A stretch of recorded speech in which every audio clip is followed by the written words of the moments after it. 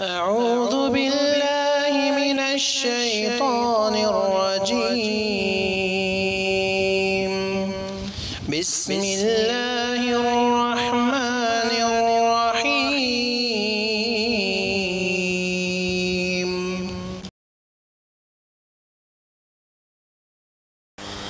الحمد لله والصلاة والسلام على رسول الله وعلى آله وصحبه ومبالاه اما بعد. فنكمل ما بدأنا به فيما يتعلق بكتاب التوحيد ونختم الدرس اليوم إن شاء الله. بسم الله والصلاة والسلام على رسول الله وعلى من والاه. آه، ہم کتاب التوحید کا جو باقی حصہ ہے مکمل کریں گے اور درس کو اب شروع کر رہے ہیں. نعم. الطيارة النجيب بعدها بدأنا بالتطير. الآن. التطير. إيه يلا. کتاب التوحید کا اٹھائیسواں باب ہے بدفالی اور بدشگونی. اللہ تعالیٰ کا فرمان ہے الا انما طائرهم عند اللہ ولكن اکثرهم لا يعلمون. خبردار ان کی بدشگونی اللہ کے یہاں مقدر ہے لیکن ان میں سے اکثر نہیں جانتے۔ لیز ارشاد ربانی ہے قالوا طائركم معكم ان ذکرتم بل انتم قوم مسرفون۔ رسولوں نے کہا تمہاری نحوست تمہارے ساتھ ہے۔ کیا تم یہ باتیں اس لیے کرتے ہو کہ تمہیں نصیحت کی گئی ہے، بلکہ حقیقت یہ ہے کہ تم لوگ حد سے تجاوز کر چکے ہو۔ ابو حررت اللہ عنہ سے روایت ہے کہ رسول اللہ صلی اللہ علیہ وسلم نے فرمایا، لا عدوہ ولا طیرہ ولا حامہ ولا سفر۔ کوئی بیماری متعدی نہیں، بدشگونی و بدفالی کی بھی کچھ حقیقت نہیں، نہ الو کا بولنا کوئی اثر رکھتا ہے اور نہ ماہ سفر منحوس ہے۔ صحیح مسلم میں ان الفاظ کا اضافہ ہے، ولا نہ ولا غول، نہ چھتر اور بھوتوں کا بھی کوئی وجود نہیں۔ انس رضی اللہ عنہ سے مروی ہے کہ رسول اللہ صلی اللہ علیہ وسلم نے فرمایا، لا عدب ولا طير ويعجبني الفال قالوا وما الفال قال الكلمة الطيبة کوئی بیماری متعدی نہیں، نہ بدشگونی و بدفالی کی کچھ حقیقت ہے۔ اور مجھے فال بہت پسند ہے۔ صحابہ نے پوچھا فال کیا ہے؟ آپ نے فرمایا، عمدہ اور بہترین بات۔ اور عقبہ بن عامر رضی اللہ عنہ روایت کرتے ہیں کہ رسول اللہ صلی اللہ علیہ وسلم کے پاس بدفالی و بدشگونی کا تذکرہ ہوا۔ تو آپ صلی اللہ علیہ وسلم نے فرمایا کہ ان سب سے بہتر تو فال ہے اور یہ کسی مسلمان کو اس کے مقصد سے باز نہیں رکھ سکتی۔ چنانچہ کوئی جب ناپسندیدہ چیز دیکھے تو یہ دعا کرے، یا اللہ، تیرے سوا کوئی بھلائیاں نہیں لا سکتا، اور تیرے سوا کوئی برائیوں کو دور نہیں کر سکتا، اور تیری توفیق کے بغیر ہمیں نہ بھلائی کی طاقت اور نہ برائی سے باز رہنے کی ہمت ہے۔ عبداللہ ابن مسعود رضی اللہ تعالی عنہ سے مروی ہے کہ رسول اللہ صلی اللہ علیہ وسلم نے فرمایا، بدفالی شرک ہے، بدشگونی شرک ہے اور ہم میں سے کوئی ایسا نہیں جسے بتقاضۂ بشریت ایسا وہم نہ ہوتا ہو، مگر اللہ تعالیٰ توکل کی وجہ سے اس کو دفع کر دیتا ہے۔ عبداللہ ابن عمر رضی اللہ عنہ سے مروی ہے کہ رسول اللہ صلی اللہ علیہ وسلم نے، عبداللہ ابن عمر سے مروی ہے کہ بدفالی نے جس شخص کو اس کے کام سے روک دیا، اس نے شرک کیا، صحابہ نے عرض کیا، اس کا کفارہ کیا ہے؟ آپ نے فرمایا، اس کا کفارہ یہ دعا ہے۔ اللہم لا خیر الا خیرک ولا طیر الا طیرک ولا الہ غیرک یا اللہ تیری بھلائی کے سوا کوئی بھلائی نہیں اور تیرے شگون کے سوا کوئی شگون نہیں اور تیرے سوا کوئی معبود نہیں اور مسند احمد ہی میں حضرت فضل بن عباس سے مروی ہے کہ بدشگونی وہ ہے جو تجھے کسی کام میں لگا دے یا کام سے روک دے۔ هذا الباب علاقته۔ بهذا الكتاب لأنه ينافي التوحيد والمعتقد بالتطير مشرك. اس باب کا کتاب سے تعلق یہ ہے کہ بدشگونی یا بدفالی یہ توحید کے منافی ہے اور ہر وہ عمل جو بندے کو توحید سے نکال چر تک پہنچا دے، شیخ اپنی کتاب میں وہی باتیں ذکر کرتے ہیں توحید کی پختگی کی خاطر۔ وذلك لأن الطيرة شرك. اور ایسا اس لیے کہ بدشگونی لینا شرک ہے۔ ما معنى الطيرة؟ طيرة کس کو کہتے ہیں؟ الطيرة أن يتطير بالطير أي يبني على رؤيته للطير عقيدة. طيرة هي الطير سے ہے کہ آدمی طير اور پرندے سے فال لے پرندے کو اڑا کر کے اور اس کے بعد اپنے عقیدے کی اس پر بنیاد رکھے یعنی تیرہ تیر سے جڑا ہوا ہے انسان کا عمل اسی پرندے سے جڑا ہے اس لیے اس کو تیرہ کہتے ہیں۔ سميت الطيرة ويدخل فيها أشياء أخرى اس کا نام تیرہ بدشگونی رکھا گیا اور اس میں دوسری چیزیں بھی داخل ہیں۔ وهذا كله من التشاؤم۔ اور یہ تمام کے تمام چیزیں نحوست کے قبیل سے ہیں فَإِذَا خَرَجْ فَرَأَ غُرَاب. جیسے کوئی گھر سے نکلا اور سامنے کوا دیکھا رجع للبیت تو گھر واپس آ بس شگونی لے کر کے گھر واپس آ لماذا رجع؟ کیوں لوٹ لأنه بنى على رؤية العقاء الغراب أن هناك شر سيحصل لي. اس لیے کہ اس نے کوا دیکھ کر کے یہ طے کر لیا کہ کوئی میرے ساتھ برا واقعہ پیش ہونے والا ہے۔ فجعل أمر الغيب بالطير تو غیب کی خبر کو اس نے پرندے سے جوڑ دیا۔ هذا معنى التطير اسی کو کہتے ہیں تطیر۔ قالوا إنا تطيرنا بكم لئن لم تنتهوا لنرجمنكم وليأتينكم منا عذاب أليم۔ قالوا طائركم معكم بل ذكر إن ذكر. قالوا طائركم معكم إن ذكرتم بل أنتم قوم مسرفون. فتطيروا بهم تشاءموا بهم. قالوا أنتم. ولذلك الأمر بيد الله. ليس بيد الطير ولا غير الطير. جب لوگوں نے بدشگونی اور فال لیا تو رسولوں سے کہا کہ ہم نے آپ سے جو ہے فال لیا ہے آپ سے جو ہے بدشگونی لی ہے۔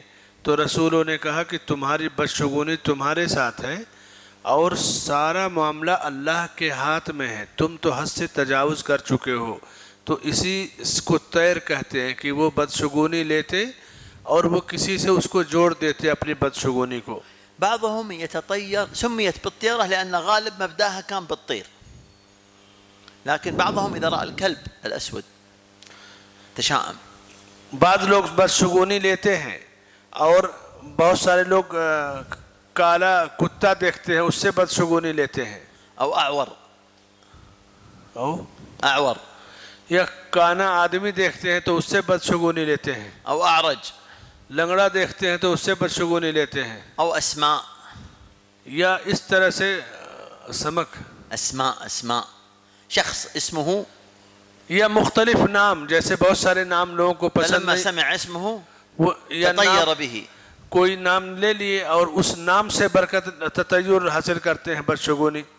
أو بقعة مكان. يتشائم إذا أتى هذا المكان تشاءم منه. أنا دائما تحصل لي هنا مشاكل دائما يحصل لي هنا. فيأتي إليه وهو يتشاءم يظن أن قدومه إليه سيسبب له قدر سيء. هذا كله من التطير. يا كسي جگہ سے بدشگونی لیتے ہیں۔ جیسے کسی جگہ کچھ ہو گیا تو کہیں گے دیکھو جب میں یہاں آتا ہوں تب ایسا ہوتا ہے۔ تو اب اس جگہ کو منحوس سمجھنے لگتے ہیں۔ أو بقاع أو اسماء أو كلمات فهذا كله من التطير. تو اسی طرح سے کسی جگہ سے یا ناموں سے یا اسی طرح سے آ... شخصیات سے یا ناموں سے اس طرح ساری کے ساری چیزیں تطیر میں شامل ہیں کہ کسی کو دیکھ کر کے اسے بدشگونی لی جائے۔ لأنه ربط الأمور الغيبية من خيرها وشرها بالحوادث التي تأتي بالأسماء أو الحيوانات أو الأصوات كأن يسمع صوت الغراب أو صوت البومة۔ اس لیے کہ وہ امور جن کا غیب سے تعلق ہے ان کو اس نے افراد، شخصیات، ناموں اور جگہوں سے جوڑ دیا کہ یہاں ایسا ہوگا، وہاں ویسا ہوگا۔ جبکہ مستقبل میں جو کچھ ہوتا ہے، اس کا علم صرف اللہ کے پاس ہے۔ اس کو کسی سے نہیں جوڑا جائے گا کہ الو کی آواز ہے، پرندے کی آواز ہے، کوے کی ہے، فلاں شخص ہے، فلاں جگہ ہے۔ ایسا کرنا درست نہیں، غلط ہے۔ ربما يأتيك شيء من هذا۔ بسا اوقات آپ کے پاس اس میں سے کوئی چیز آتی ہے؟ متى يقع في الشرك؟ آدمی شرک میں کب پڑتا ہے؟ إذا هذا الموقف رده أو أمضاه يعني أثر في عقيدته. جب اس طرح کا موقف یا اس طرح کی چیز اس کے عقیدے میں پیوست ہو جائے یعنی اس سے وہ متاثر ہو جائے تب اس کو اس کا نقصان زیادہ پہنچتا ہے نقصان پہنچتا ہے۔ لأنه بنى هذا على اعتقاد وميل قلب۔ اس لیے کہ اب اس کا عقیدہ ان چیزوں سے جڑ گیا کہ اس جگہ میں نحوست اس شخص میں نحوست اس آدمی میں اس نام میں۔ تو اب جب عقیدے کو جوڑ دیا تو پھر وہ چیز اس کو متاثر کرتی ہے۔ بماذا يدفع هذا؟ یہ چیزیں کیسے دور کی جائیں گی؟ بأمرين۔ دو چیزوں سے۔ الأمر الأول التوكل۔ پہلی چیز اللہ پر بھروسہ کرنا۔ ثم الدعاء۔ دوسری چیز دعا کرنا۔ الدعاء أتى دعائين دعا کی دو صورتیں ہیں۔ ما هي؟ کیا ہے وہ؟ اللهم لا خير إلا خيرك ولا طير إلا طيرك ولا إله غيرك مشہور دعا ہے کہ اللہ تیرا ہی خوف ہے تیرے سوا کوئی معبود نہیں اور فال صرف تیری ہی فال ہے یعنی یہ دعا مشہور ہے تیرے سوا کوئی معبود برحق نہیں۔ الدعاء الثاني دوسري دوسری دعا قولو من يعرفه؟ دوسري دعا کس کو یاد اللهم لا يأتي بالحسنات. أي الله تعالى؟ ها قله لهم. تیرے سوا کوئی بھلائی نہیں لاسکتا موجود مكتوب. كتاب میں ہے اللهم لا يأتي بالحسنات إلا أنت ولا يدفع السيئات إلا أنت اور تیرے سوا کوئی برائیوں کو دور نہیں کر سکتا ولا حول ولا قوة إلا بك. اور التوفيق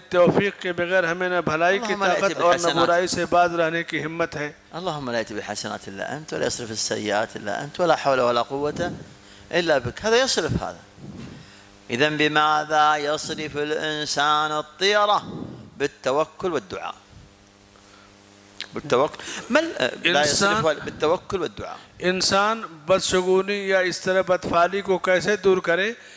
اللہ پر بھروسہ کر کے اور اللہ سے دعا کر کے۔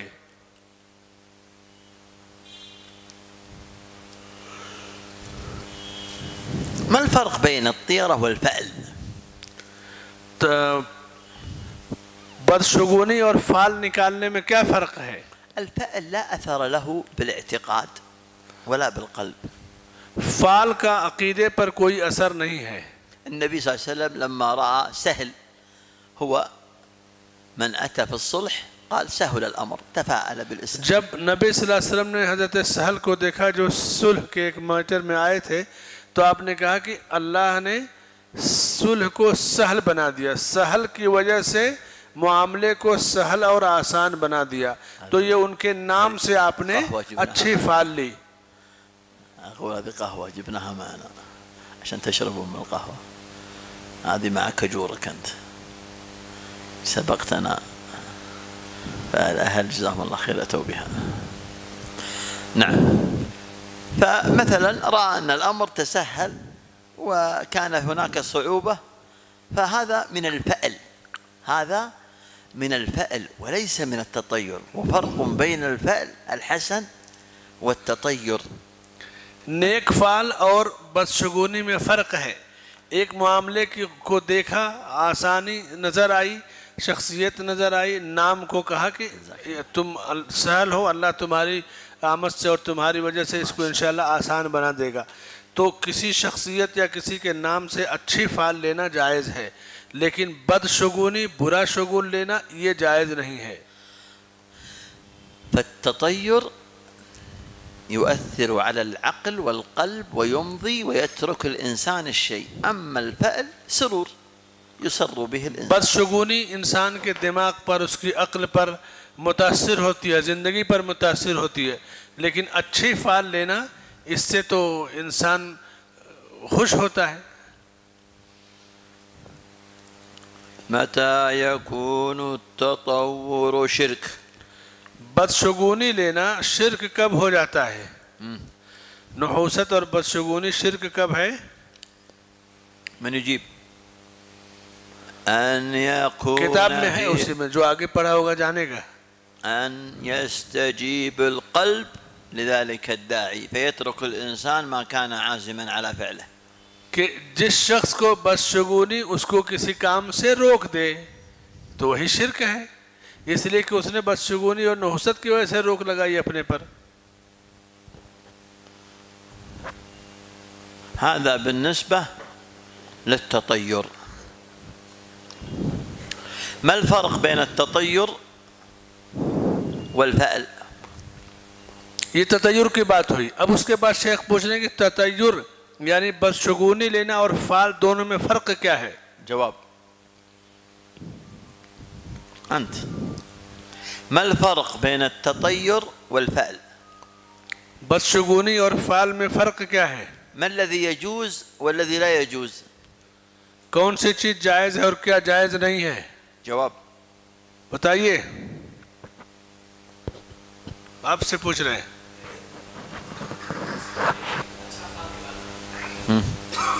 لا هنا هنا هنا هنا। هذا الأخ. هذا الأول؟ أي نعم هذا الأول. آپ سے پوچھ رہے ہیں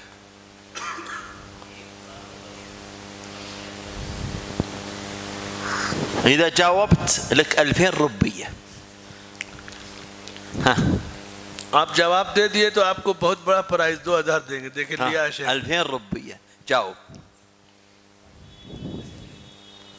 ها شو يقول؟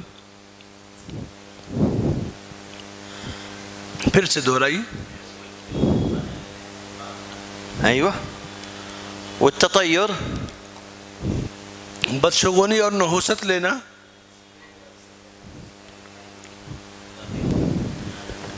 ما حكمه؟ اس کا حکم کیا ہے شرک کفر ہے حرام ہے جائز ناجائز کیا ہے ماذا قلنا؟ لأنك مشغول بالجوال ما أنت مع الدرس.